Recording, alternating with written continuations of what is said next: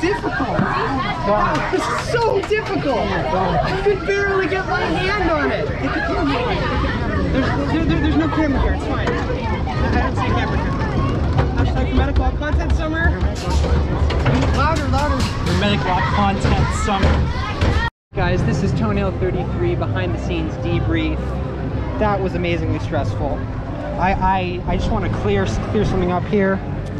I did not have loose toenail clippers on the ride. That would be extremely dangerous. Additionally, my GoPro is on my wrist mount, as you can clearly see. My clipper was attached to a lanyard, which is duct taped to the interior of my jacket pocket.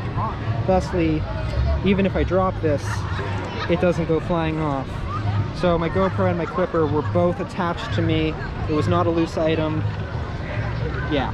You have anything to add? It's just, it's a Hermetic Lock content summer. Multiple uploads every week, and Lager is bringing you the best content. Yeah. Right, so you guys might also be wondering why I move the GoPro under my leg at random times. That's because uh, GoPros are not allowed. We were explicitly told this uh, while I was trying to bring it on, so uh, it had to be a little bit hidden. That's why it was in my pocket before the video started. And that's why I had to hide it for the two cameras on the uphill section. And uh, then I brought it out, then I put it back for the one camera, for the photo camera. Uh, so I had to make sure it was hidden for all three cameras. We did a recon run on the coaster uh, beforehand to scope all this out. We also did notice that they will stop the uh, uphill clack, clack, clack if they see someone messing around, which we did also observe. Um, anything else? I think that's about it. Uh, Is that okay with you? I you know you can talk about like the challenges that Oh. we had a little bit more and what you had to Oh uh, man, yeah. do while sitting down. Look, in order to get that clipper, we had so many. Look, I had a clipper back to back with another clipper. I wanted to do the full carve on the uphill section, but we just had to compromise. There's just not enough time to get out the GoPro, hide from both cameras, and uh, you know, do both kinds of clip because what what what what some of you in my audience might not quite realize or appreciate is that in order to do a proper toenail corner carve, you need two kinds of clippers.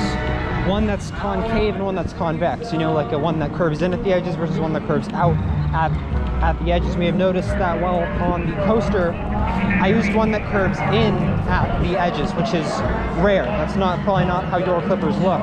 People don't appreciate the art form. Right, like there's there's like a lot of work that goes into these things. This is probably the first video where all y'all in my audience can finally appreciate what I do for you, you know? Um, in this one, we, we did have to make a compromise, which was carving with the concave clippers out in the line outside the ride. That's because those two clips are critical because they define the shape of the corner. Um, I know it's a little bit disappointing that the clips that I did while going up the coaster were non-critical. They didn't actually contribute to the corner. They just let me get, get at it better. But I just felt like it was right. You know, like I didn't want to leave you guys with nothing, you know? Um, so yeah.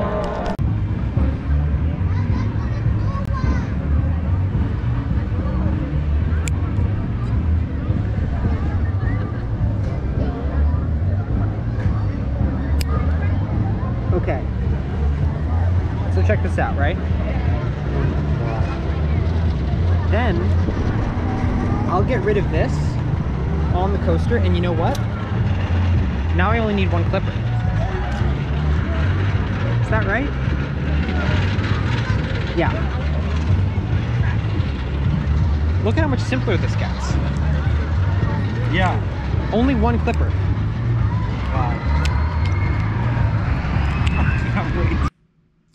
Guys, there was so much more to this that I forgot to mention the debrief at the park. So much planning went into this. I watched so many POV videos of this ride and others at the park to choose the right coaster. Uh, some were instantly disqualified, such as the ones that have over, uh, over-the-shoulder restraints, like Patriot Flight Deck, because those would prevent me from reaching my toes at all. Uh, but the others took a lot more thought to weigh the pros and cons. Um, after our first test ride, when I was told that I couldn't bring on my GoPro, we regrouped and planned and uh, rode it again only when that ride operator went on break. Uh, so there'd be less attention focused specifically on us and whether we were trying to bring on our uh, disallowed GoPro.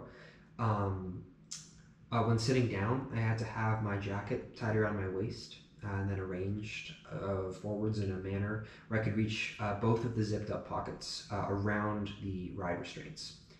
Um, I practiced my speed at getting the GoPro out of my pocket, getting my wrist through the strap, velcroing the strap in place tightly.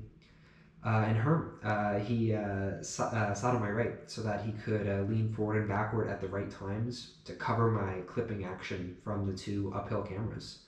Um, I think that's about it though. Uh, I really hope you guys enjoyed. First toenail video ever filmed on a roller coaster, Toenail 33. I really put a lot of, a lot of effort into this. I hope you like, comment, and subscribe.